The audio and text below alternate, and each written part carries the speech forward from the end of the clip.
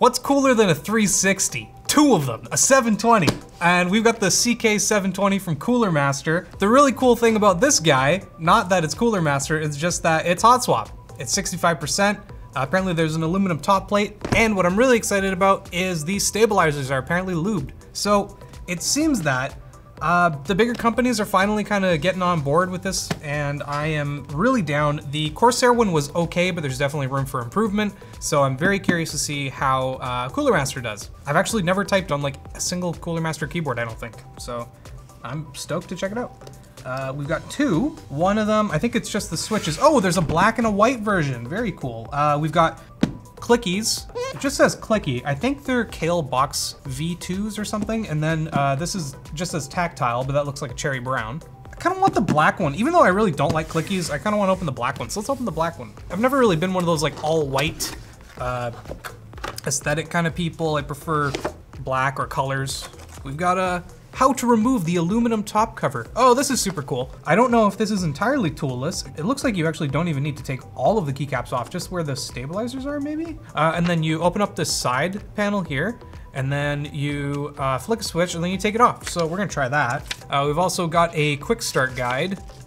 It's basically just warranty and other stuff, uh, some quick stuff like Function plus T for LED modus. Oh, that's not English, that's German, I think.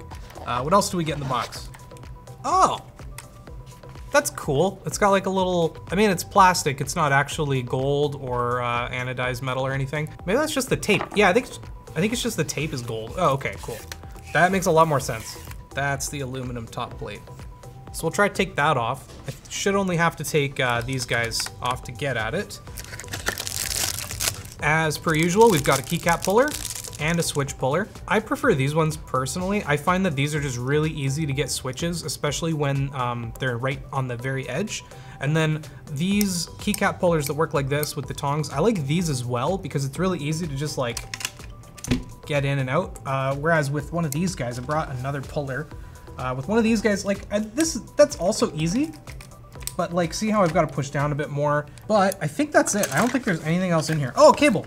It's not anything special. It's just to A with no sleeving of any kind. But the reality is, uh, if you check their website, I'm pretty sure they mentioned that they are going to be making custom cables. So that's cool. Really excited to see how those end up. For now, I'll just use this regular guy. I already took a couple keycaps off and you can see that they're just Box V2s. Pretty nice clickies if you're into that sort of thing. Apparently they come with some greens as well, so you can try those out. Maybe that's just the final release and not ours. Spacebar is okay.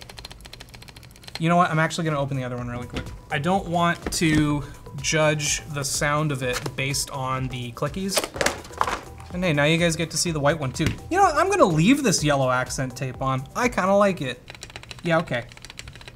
There are a couple silicone layers in this, I think, and that helps.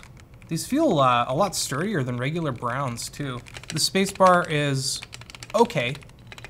There is some rattle and stuff in there still, and I think it's because they're using clip-on stabilizers instead of screw-in, which is fine. It's, you know, we like screw-in. Actually, I'm gonna take the spacebar off. You can tell because they've got clips right here. Normally those would be screw-in, um, or at least in higher end products, they'd be screw-in. It's really not the end of the world, and there is lube. I can definitely see the lube. Why is there a do not remove Cooler Master sticker on here? What, what happens if I remove that sticker? Well, I'm gonna remove the sticker. No. Oh, I got it. Okay. There's a screw there. Why they and why do they only put it over one of them? Okay, I don't understand. Whatever. If you need to tear this thing apart, don't worry about the sticker. I don't know why it's here. I hate the whole warranty void. It doesn't say warranty void. It just says, you know, do not remove, but whatever. The knob is very tactile. You can really feel each individual click on it, and I like that a lot. Press down, forward, back. Doesn't come out super easy. Is there a little hole where I can unscrew it? I am not sure. Let's try taking the top plate off. That's what I'm really curious about. I also don't know why you need to remove these switches. Like I, like I don't understand. Uh, I'm just gonna try doing the thing on the side. So we're gonna open it, take this little guy off, push this over. Okay, so I have to remove these guys. Okay, knob came off pretty easily actually. I don't understand, so these ones I kind of get because they're stabilizers, but I don't understand why the page down and the the numpad has to get taken off. I think there's plastic clips still. Yep. Ah, there we go. Cool. Yeah, it just pops right off. So they've got two layers of silicone in here. There's one on the very bottom of the case, and then there's one just above the PCB, in between the PCB and the top plate. And it's a cool purple material, so it fits the uh, stabilizers. I actually really like that. I don't know, I'm a big purple guy. I got the purple sweater on and everything today. I'm a big fan. Otherwise, the case is okay. The case itself is plastic. Uh, the top, it, it is aluminum, but it's very thin. The keycaps themselves, they're basically just double shot PBT. And uh, I'm gonna put this back on.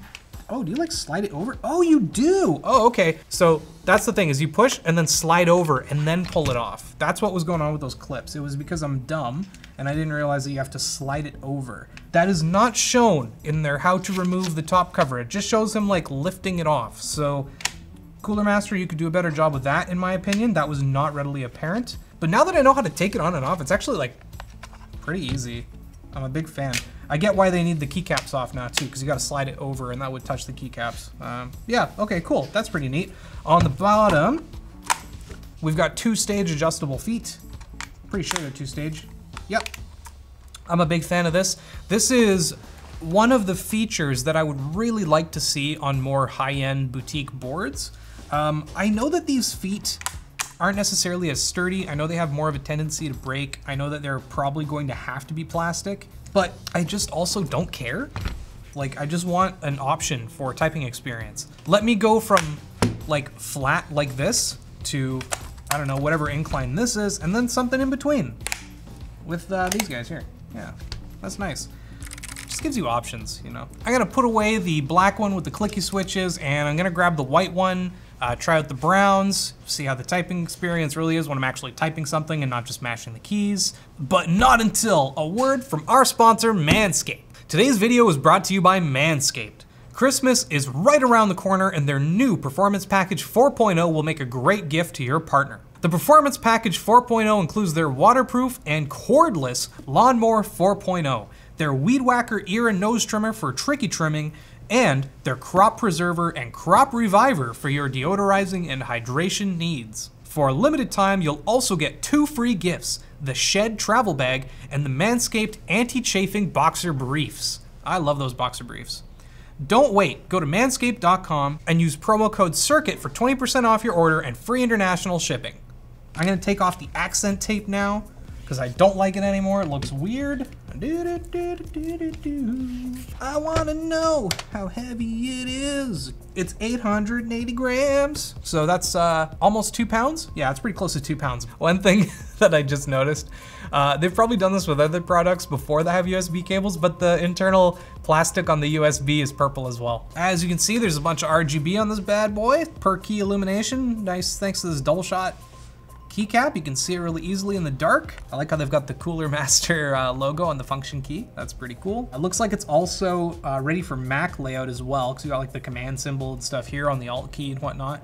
Uh, so it's probably really easy for you to switch this to Mac if you're an Apple user. I haven't taken the top plate off of this one, and it's very loose.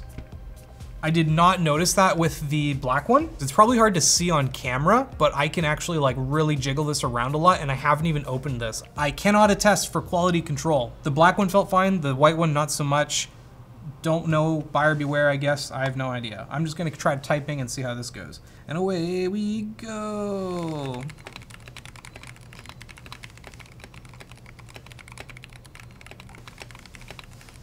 Oh, that was very, oh, ah, I thought that was every.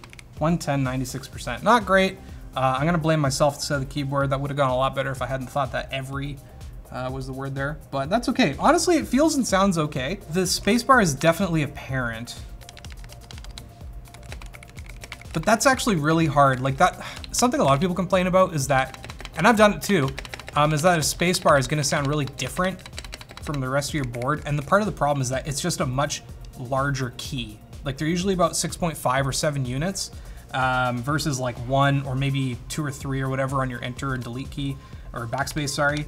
And it's really easy to make the other guys sound good when it's just a 3U stabilizer, but once you're going all the way across with that really long bar, it's hard to make it sound good. You could probably improve this with a bit of foam under the spacebar itself. And then, uh, yeah, maybe just not clip in, let me screw in the stabilizers. It's just, it's a lot easier for manufacturers to just clip stuff in, I guess. Let's take a look at the software. Let's see how good the Master Plus Plus stuff is. I don't like the name, but if it works, it works. Oh, it's detecting our CK720 right away. That's nice. Uh, I don't, yeah, there's these two little dots down here. I don't quite know what those are about, but whatever, they're clearly labeled here, which is good. We can change all the RGB stuff. Like boom, now it's all red. If we wanted to, it could be all blue easy peasy, you know, change things to like, that's a reactive fade now. Man, I love RGB. Oh, you can change the LED speed and stuff too, so make it like fast and stuff, and you can like move the LED direction around and whatnot. Uh, key mapping as well in here, which is great. You can just, looks like you can change anything to literally whatever you want except for the Cooler Master button, which will change, it's the function button, you can't really change that. Uh, and you can set up a bunch of macros and profiles. Honestly, as much as I hate the name, the software seems perfectly usable. Uh, so this is great, honestly. I, I, think that you can't really go wrong with this. It, it worked no problem, detected the keyboard.